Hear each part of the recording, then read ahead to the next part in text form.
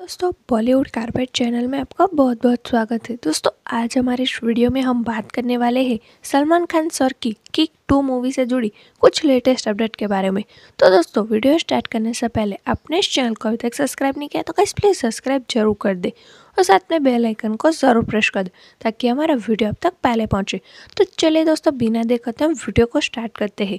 तो दोस्तों, सलमान खान सर की किक टू मूवी की शुरुआत 2014 में किक मूवी से हुई थी और एक किक मूवी का डायरेक्शन साजिद नडियादवाला ने किया था। ये मूवी हिंदी लैंग्वेज की एक्शन फ़िल्म थी और साथ में रोमांटिक फ़िल्म भी थी।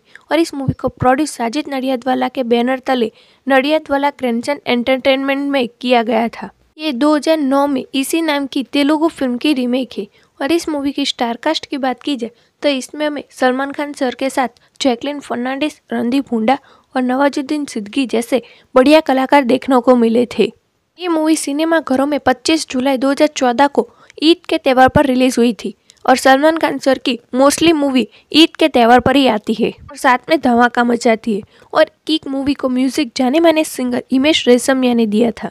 किक मूवी को 120 करोड़ के भारी भरकम बजट पर बनाया गया था और इस मूवी ने बॉक्स ऑफ़िस पर 150 करोड़ से ऊपर की कमाई की थी। इस किक मूवी में सलमान खान सर ने देवी लालसी उर्फे डेविल का किरदार निभाया था, जो साइना के डॉक्टर शाइना मेहरा का किरदार जैकलिन फर्नांडिस ने निभाया था, जो देवी सिंह की गर्लफ्रेंड है और एक डॉक्टर भी है। इस मूवी में नरगिस फाकरी यार ना मिले गाने में विशेष उपस्थिति के साथ दिखाई दी थी। दो हज़ार चौदह में किक मूवी सफल होने के बाद अब इनके पाँच साल के बाद इनका दूसरा पार्ट बनने जा रहा है, किक टू मूवी और इस मूवी को डायरेक्ट साजिद नडियादवाला करने वाले हैं और इस मूवी को प्रोड्यूस साजिद नडियादवाला के बैनर तले ही किया जाएगा।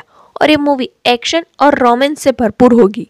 इस मूवी की स्टारकास्ट की बात की जाए तो इसमें हमें फिर से सलमान खान सर और जैकलिन फर्नांडिस रोमांस करते हुए नज़र आएँगे। और ये फ़िल्म 2014 में आई फ़िल्म किक का दूसरा पार्ट है। और इस फ़िल्म से सलमान खान, यानी देवी लालसी और जैकलिन फर्नांडिस अपने किरदार के साथ अपने लव स्टोरी को आगे बढ़ाते हुए नज़र आएँगे। इस बार किक टू मूवी को 200 करोड़ के भारी भरकम बजट पर बनाया जाएगा और ये मूवी बॉक्स ऑफ़िस पर 400 करोड़ से ऊपर की कमाई कर सकती है, ऐसा अनुमान लगाया गया है। किक टू मूवी अपनी ब्लॉकबस्टर मूवी राधे और मोस्ट वांटेड बाय मूवी के बाद 2021 में रिलीज़ होगी।